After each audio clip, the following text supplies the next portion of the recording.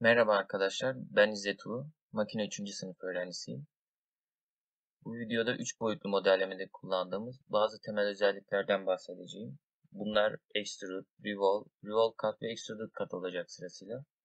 Ve son olarak da Reference Geometri'yi nasıl kullanabiliriz buna bakacağız. Komutları anlatırken gerçek bir örnek üzerine çalışmak istedim. Bunun için kalemi seçtim. Kalemin 4 farklı kısmı var. İçinde kurşun, dışında tahta bir kasası var. Üzerinde silgi ve silgiyi bağlı tahta kısma bağlayan bir halkası var. Videoyu ayrıca bölümlere ayıracağım. Her bölüm sonunda oturup kendiniz biraz çalışırsanız faydalı olur. Başlayabiliriz.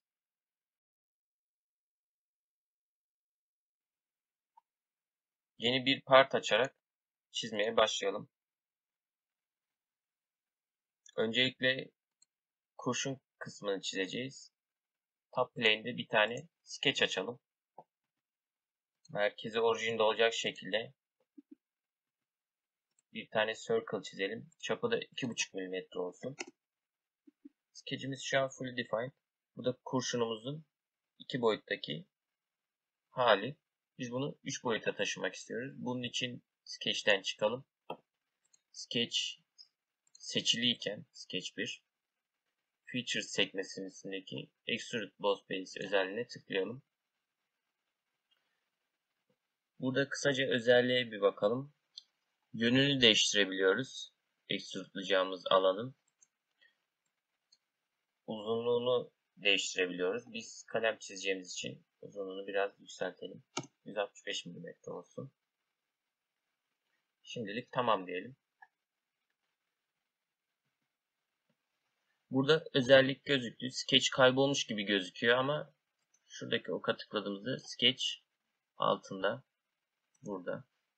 Edit sketch diyerek sketch'imizi editleyebiliriz. Yine edit feature diyerek feature'ı editleyebiliriz. İsmini kurşun olarak değiştirelim. Şimdi de dışındaki tahta kasayı çizeceğiz. O yüzden top plane'de yine bir sketch açalım.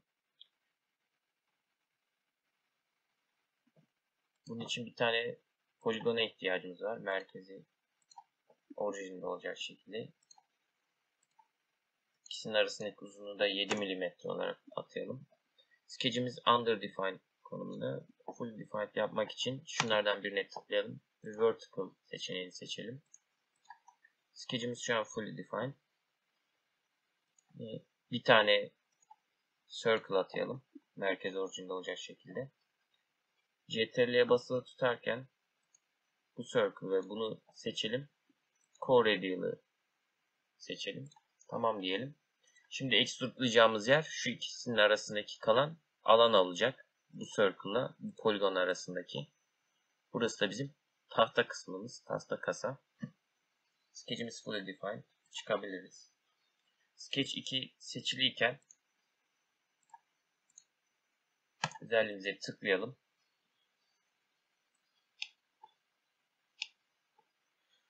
Burada Merge Result seçeneği geldi. Ayrıyeten. Bu önceki çizdiğimiz alanla kurşun kısımla şimdiki çizdiğimiz alanı birleştirecek. Bakalım tek bir body haline dönüştürecek. Ama biz bunu istemiyoruz. Bu yüzden edit feature diyerek merge result'ın üstündeki tiki kaldıralım. Tamam diyelim. Şu an iki farklı solid body'miz var. Bunun ismini de kasa olarak değiştirelim. Edit feature diyelim. Burada blind diyerek hep uzunluk atadık ama bu sefer Up to Surface seçeneğini seçelim. Bizden bir tane Surface seçmemizi istiyor. Biz bu alanı şu yüzeye kadar ekstrudlamak istiyoruz. Kurşunun en üst yüzeyine kadar. O yüzden bu yüzeyi seçelim. Burada seçildi. Tamam diyelim. Bu şu an e, tahta kasanın ekstrudlayacağı, ekstrudlanacağı yeri kurşuna bağlamış olduk. Yani şöyle oldu. Şimdi biz bunu 5 milimetreye düşürürsek doğal olarak tahta kasa bu yüzeye kadar ekstrütlanacağı için o da düştü. Tekrar 165 mm yapalım bunları. Şimdi de silgiyi çizeceğiz. Şurada bir tane sketch açalım. Edit sketch değil. Şuradaki sketch'e tıklayalım. Ve klavyeden N tuşuna basalım. Sketch'e normal hale gelsin. Ya da Space tuşuna basıp buradan normal tüyü seçebiliriz. Şimdi silgi içinde bir tane circle çizeceğiz. Çapı 7 mm olacak şekilde. Sketch'ten çıkalım. Extrude Boss Base tıklayalım. 10 mm bizim için yeterli. Ben yönünü değiştirebiliriz ama bu istediğimiz bir şey değil. Merge Result seçeneğini yine tikini kaldıralım üstünden. Tamam diyelim. Burada Merge Result şöyle oluyor. Yani çizdiğimiz sketch, ekstrutacağımız alan herhangi bir diğer alana değiyorsa direkt olarak merge result yapmak istiyor. Yani özellik bunu direkt kendisi yapıyor. Ama biz bunu istemiyoruz. Bunun ismini de silgi olarak değiştirelim. Şu an 3 tane solid body'miz var. Kurşun, tahta kasa ve silgi. Bu üç özelliği de Extrude Boss Base özelliğini kullanarak çizdik. Bu özellik basitçe iki boyuttaki kapalı bir profili, alanı üç boyutluya taşıyor. Yani yükseklik veriyor.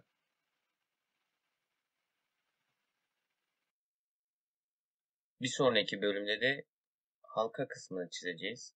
Silgiyle tahta kasanın birbirine bağlandığı alanı.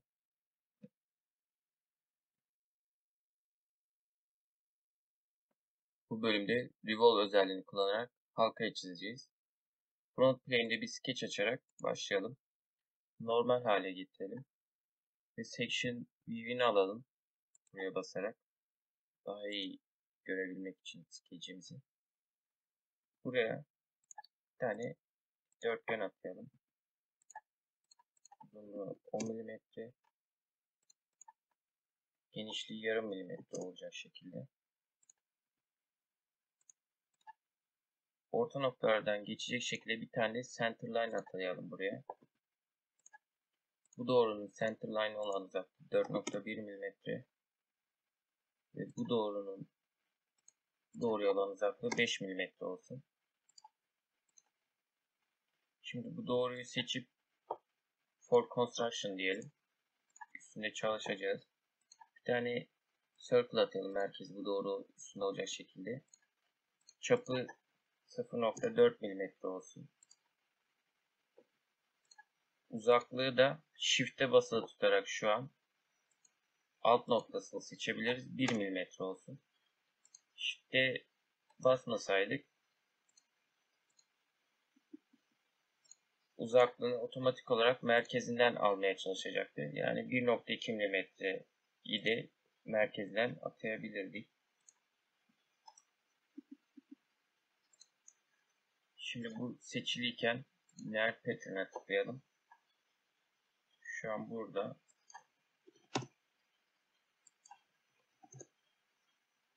dört tane olmasını istiyoruz. Aralarındaki uzaklık da 0.4 mm olacak merkezlerinin. Tamam diyelim. Under defined kolumuna bunlardan herhangi ikisinin arasına yani uzunluk atayalım. Fully defined konuma gelecektir. Şimdi trimleyelim kısımlarını. Muhtemelen sizde de hata verecek. Bu hatayı çözüme kavuşturmak için üstüne tıklayıp diagnose diyelim. Bu bizim için muhtemel çözümleri sunacak.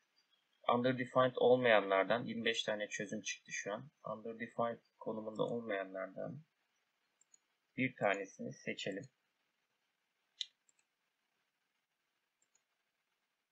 Uygun olan uygun gibi duruyor. Accept key. Tamam diyelim. Şimdi bu halkaları üstte mirrorlayacağız. 4 tanesini seçip center line'ı da seçip mirror entities diyelim. Ve bu alanı kapatalım.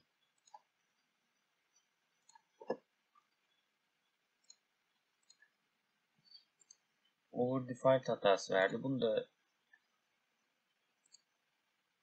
çözmeye çalışalım. Bu uygun gibi duruyor. Tamam diyelim. Bu doğruyu da for construction deyip şu sol taraftaki önce bir tane centerline çizelim. Merkezden geçecek şekilde. Şu sol taraftaki bütün doğruları seçip mirrorlayalım. Olmadı. Şu orta noktayı da seçelim. Mirror diyelim. Seçmedi. Tekrar silip mirror about diyelim. Şu an revolve'layacağımız alanı çizdik ve revolve'layacağımız axis of revolution doğrumuz da bu. Şimdi sketch'ten çıkıp bir bakalım. Burası kapalı bir profil, revolve'layacağımız alan. Bu da revolve'layacağımız doğru. Etrafında döndüreceğimiz doğru. Şimdi revolve özelliğine tıklayalım. Bizden bir tane sketch seçmemizi istiyor. Sketch 8'i seçelim. Ve bize axis of revolution soruyor. Bu çizdiğimiz e, profilin kapalı alanın üstündeki bir doğru da olabilirdi. Olabilir. Yani bunu seçebiliriz. Bunun etrafında döndürür. Ama biz bunun etrafında döndürmesini istiyoruz. Bunu seçelim. Şimdi özelliğe biraz bakalım. Yine merge result özelliği geldi. Çünkü e, olacağımız alan diğer bodylere de değiyor. Bu da kendisi direkt otomatik olarak seçiyor. Hepsini birleştirecek büyük ihtimal. Biz bunu kendimiz de seçebiliriz. Yani sadece tahta kasayla da birleşmesini isteyebiliriz. Burada seçerek. Ama biz bunun üstündeki tiki kaldıralım. Burada ne kadar derece döndüreceğimizi seçebiliriz. Bunu 90 derece de seçebiliriz. Yönünü seçebiliriz. Değiştirebiliriz. Blind değil de mesela mid plane'i seçtiğimizde bu ortadaki alanı ortaya alıyor ve her iki tarafından da 90 derece yani toplamda 90 derece olacak şekilde sol taraftan sağ tarafa kadar revolve diyor. Bunu 360 derece yapalım.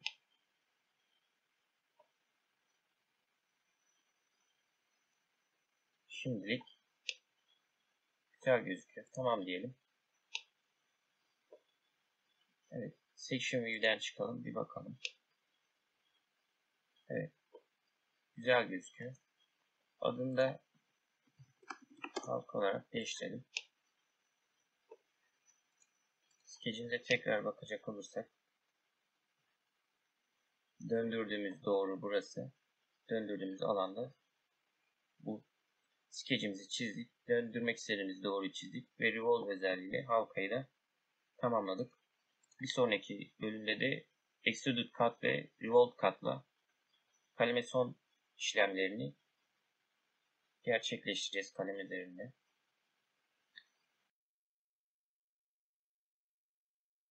Bu bölümde önce extrude cut'la kalemin yazısını çıkartacağız. Ondan sonra revolve cut'la kalemin uç kısmını çıkartacağız. Kalemin herhangi bir yüzeyinde bir tane sketch açalım.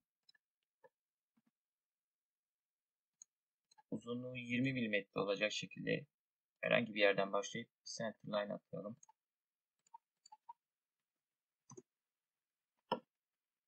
Yukarı kısımlarda olursa daha iyi olur. Şimdi bir tane text yazalım bu centerline üstüne. Şu an tam oturmadığı gibi bir tık azaltsak iyi olacak. Evet. Şimdi bu seçtiğimiz alanı yani bu yazıyı çıkartacağız extrude katla. Sketch 15 seçiliyken extrude kata tıklayalım. 2 mm uygun. Yine diğer özelliklerde olduğu gibi buradan yönü değiştiriyoruz. Ve çıkartacağımız yani bu hacmi çıkartacağımız e, body'leri seçebiliyoruz. Hangi solid body'den çıkartmak istiyorsak bunu kendimiz elimizle seçelim. Biz bunu tahta kasadan çıkartmak istiyoruz.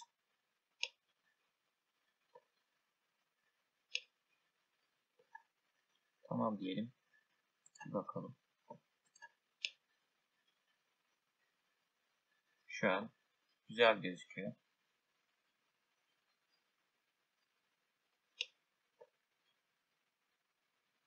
Revolve katla da kalemin uç tarafını sivrilteceğiz. Front plane'de bir tane sketch açalım ve normal hale getirelim. Cross section'ı section view'ını alırsak daha iyi görebiliriz. Revolve Boss Base'de de Revolve katla da yine bir kapalı profile ve bir doğruya ihtiyacımız var. Center line'ımızı çizelim. Bir çıkartacağımız alanı çizelim. Şuradan bir tane üçgen çizelim. Buraya uzaklığı 1 mm olsun. 5'e 5 ölçüler atalım.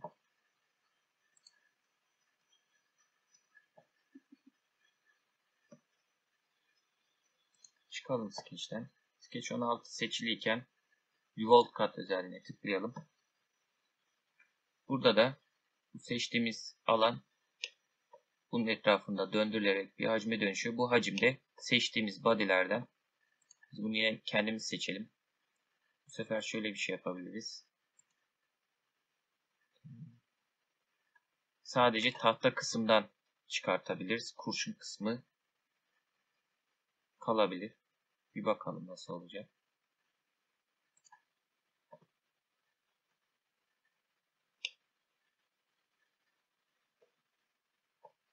Sadece tahta kısmından çıkardığımız için kurşun kısmı üçgenin kesmedi. Bunu editleyip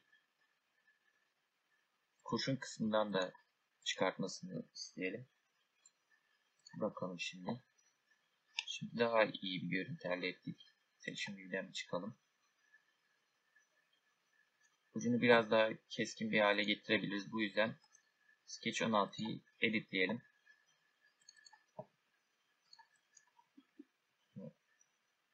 On beş milimetre yapalım.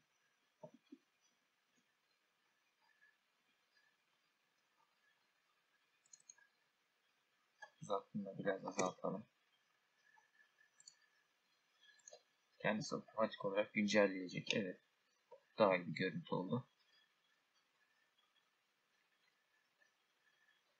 Diğer bölüme geçmeden önce biraz renklendirelim. Kalemimizi çizdik.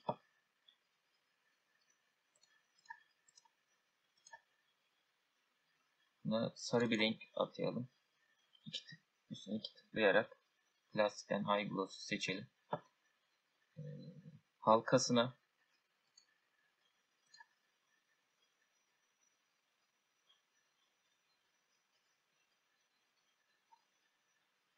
metalden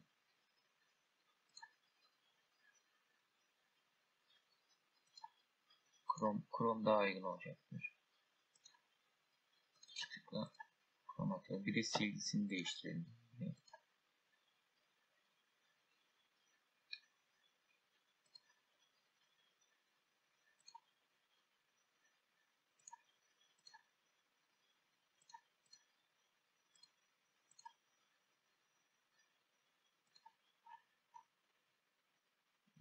işletiyorum.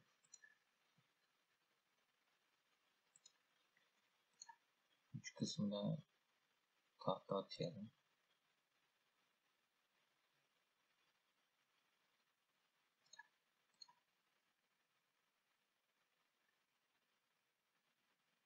Ben herhangi bir seslek güzel duracaktır.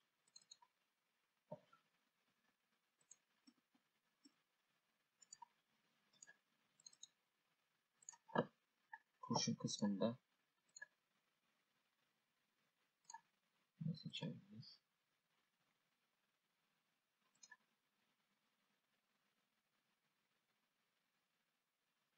Buradan bir şey seçelim.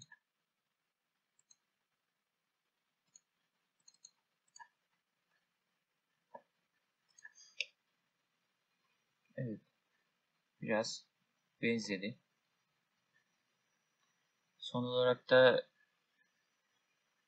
biraz daha güzel gözükmesi için filtre özelliğini görmedik ama şuralara filtre atayabiliriz. Çizgen tutalım. Şu köşelere 1 milimetrelik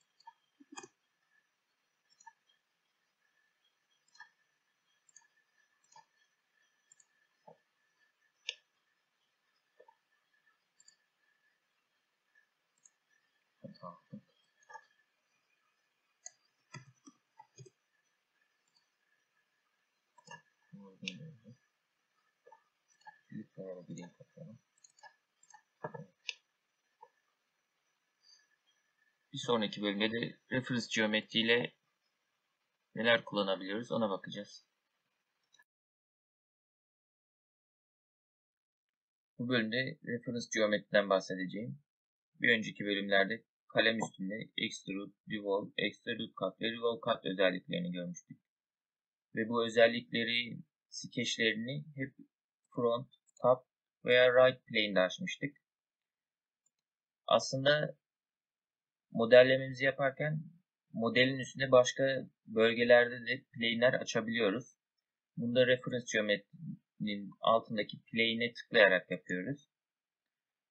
3 tane reference seçebiliyoruz bu istediğimiz plane'i açarken. Nerede açacağımıza bağlı olarak.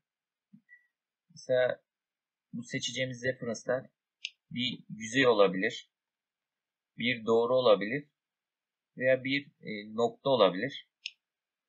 Bu üçünden birini herhangi birinde seçerek bir plane açacağız. Şimdi ben bir tane reference seçerek bu yüzeyi seçerek nasıl plane açtığımızı göstereceğim. Ee, burada uzaklığa bağlı olarak mesela 5 mm diyelim. Bir plane açalım. Sayısını buradan arttırabiliyoruz. Ama biz bir tane açalım. Bu plane istediğimiz şekilde genişletip yükseltebiliyoruz. Ve bu plane üstünde sol tarafta plane 6 olarak gözüküyor. Bir sketch açabiliyoruz. Bu sketch de bizim modellememize yardımcı oluyor. Çizimlerimizde kolaylık sağlayabilir. Mesela bu alanı çizip ondan sonra extrude cut özelliğini kullanabilirim. Bu plane üstündeki. Başka şekillerde de plane'ler açabiliyoruz. İlk önce şunları bir silelim. Mesela iki tane yüzeyi kullanarak modelin ortasından bir plane açmak istiyorum. Bunu şuradan bir yüzeyi ve ikinci referans olarak da şuradan bir yüzeyi seçerek mid plane'de ikisinin ortasında açabiliyorum. Ondan sonra bu plane üstünde bu plane'i seçerek sol taraftan da seçebiliriz. Üstüne bir sketch açıp tekrar özelliklerimi bu sketch'ten kullanabilirim. Başka ne şekilde bir plane açabiliriz? Mesela açılı bir plane açmaya çalışalım. İlk referansımız bu yüzey olsun. İkinci referansımız yüzeyin üstündeki şu doğru olsun. Bir şuradaki açıya tıklayarak 45 derecelik buradan yönünü değiştirebiliyorum. 45 derecelik bir plane açalım. Şu şekilde bir plane de açabiliyoruz. Başka referanslarımız da var. Şunu silelim. Mesela bir doğruyu referans alabiliriz. Bu doğruyu referans alırken burada seçenekler var. Mesela iki nokta arasına bir doğru çizebiliriz. Bu iki noktayı seçerek. Mesela buraya bir doğru atayalım. Ya da line, edge veya axis seçerek yani şu köşeyi seçerek bir doğru atayabiliriz. Şu an iki tane referans doğrumuz var. Axis 6 ve axis 7. Bu iki referans doğrusunu kullanarak şimdi bir plane açacağım. İlk referansın axis 6, ikinci referansın axis 7 olsun. Bu iki doğrunun kesiştiği bölgede bir plane açacağım. Çizimimi de daha sonra bu plane'in üstünde açarak modellememe devam edebilirim. Şimdi bunları silelim. Bir de nokta kullanarak nasıl bir referans açabiliriz ona bakalım. Arc Center, Center of Face buradaki özellik intersection diyor. İki kesişimden, kesişim yerlerinden. Bu doğruların kesişim yerleri kolay bir şekilde gözüküyor ama başka bir modelde iki şeyin kesişimi bu kadar net olmayabilir ve oraya bir nokta atamak isteyebilirsiniz. Sketch'te kullanmak için. Bunu bu seçenekle yapabiliriz.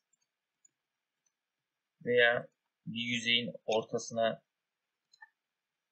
nokta atıp sonra daha sonra burada bir sketch açıp bu noktayı referans olarak kullanabiliriz sketch'imizde. Reference geometri genel olarak bu özellikleri bu kolaylığı sağlıyor ve genelde bir yerde plane açarken kullanıyoruz. Bunun kolay yolu da var. Eğer front top veya right plane'i referans alarak açacaksak. Mesela right plane'e tıklayalım. Ve kontrol tuşuna basar, basarak sürükleyelim. Bu yönde veya ters yönde. Mesela ters yönde açmak istiyoruz. Sürükleyip buradan sonra daha sonra ne kadar uzaklıkta açmak istediğimizi belirtip açabiliriz. Reference geometri genel olarak bu işe yarıyor. Anlatımım buraya kadardı. Bir sonraki videonun konusu Weldmans olacak.